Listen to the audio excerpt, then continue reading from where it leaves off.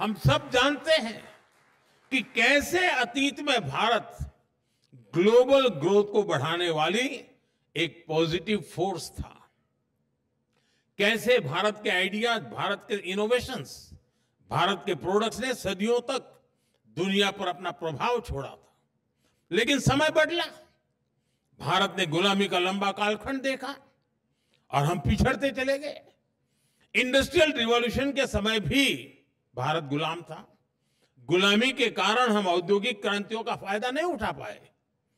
वो समय भारत के हाथ से निकल गया।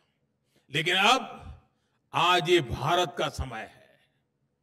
ये इंडस्ट्री 4.0 का दौर है। भारत अब गुलाम नहीं है। हमें आज़ाद हुए 75 साल हो गए हैं। और इसलिए अब हम कमर कसकर तैयार है। फ्रेंड्स इंडस्ट्री 4.0 के लिए जो स्किल सेट चाहिए, जो इंफ्रास्ट्रक्चर चाहिए, उस पर भारत बहुत तेज़ी से काम कर रहा है। बीते दशक के दौरान मुझे कितने ही ग्लोबल प्लेटफॉर्म से जुड़ने का अवसर मिला है। मैं दुनिया भर में जी ट्वेंटी और जी सेवन के सम्मेलनों का हिस्सा रहा हूँ। दस दिन पहले ही मैं आसियान समिट के लिए लाओस में था।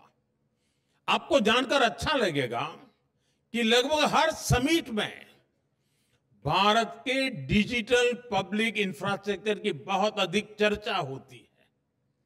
आज पूरी दुनिया की नज़र भारत के डीपीआई पर है। यहाँ हमारे साथी, भारत के प्रशंसक सिमाल पॉल रोमर बैठे हैं। मुझे पहले भी उनसे काफ़ी विचार विस्तार से चर्चा करने का मौका मिला है। मैंने उनसे बहुत चर्चाएँ की है। मैं अमेरिका में भी इनसे मिला। हमारी चर्चाओं के दौरान पॉल ने भारत के डिजिटल इंफ्रास्ट्रक्चर की, आधार और डिजी लॉकर जैसे इनोवेशन की बहुत तारीफ़ की है। बड़ी बड़ी समिट में इसी तरह लोगों को हैरानी होती है कि भारत ने इतना शानदार डीपीआई कैसे विकसित कर लिया? फ्रेंड्स इंटरनेट के दौर में भारत के पास फ़र्स्ट मूवर का एडवांटेज नहीं था। जिन देशों के पास ये एडवांटेज था, वहाँ प्राइवेट प्लेटफॉर्म्स ने प्राइवेट इनोवेशंस ने डिजिटल स्पेस को लीड किया। इससे निश्चित रूप से एक नई क्रांति दुनिया में आई। लेकिन उसके लाभ का दायरा सीमित ही था। जबकि भारत ने एक नया मॉडल दुनिया को दिया है।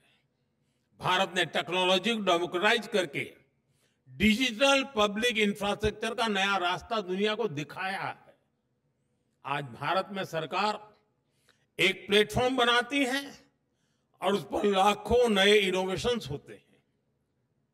हमारी जनधन, आधार और मोबाइल की जैम कनेक्टिविटी, सर्विसेज़ की फास्टर और लीकेज फ्री डिलीवरी का एक बेहतरीन सिस्टम बन गया है। आप हमारा यूपीआई देखिए। इस पर फिनटेक का एक नया विस्तार भारत में हुआ है। यूपीआई के कारण आज हर रोज 500 मिलियन से ज़्यादा के डिजिटल ट्रांजैक्शन हो रहे हैं।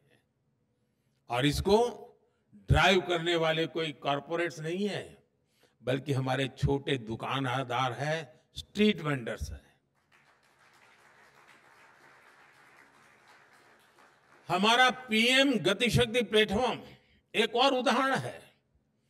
पीएम गतिशक्ति को हमने इंफ्रास्ट्रक्चर प्रोजेक्ट के निर्माण में जो साइलोज आते थे उसको दर, दूर करने के लिए बनाया था। आज हमारे लॉजिस्टिक इकोसिस्टम को ट्रांसफॉर्म करने में मदद कर रहा है। ऐसे ही हमारा ओएनडीसी प्लेटफॉर्म है। ये ऑनलाइन रिटेल को ज़्यादा डेमोक्रेटाइज, ज़्यादा ट्रांसपेरेंट करने वाला इनोवेशन सिद्ध हो रहा है। भारत ने दिखाया है कि डिजिटल इनोवेशन और डेमोक्रेटिक वैल्यूज़ को एग्जिस्ट कर सकती है। भारत ने दिखाया है कि टेक्नोलॉजी इंक्लूजन ट्रांसपेरेंसी और एम्पावरमेंट का टूल है कंट्रोल और डिवीज़न का नहीं।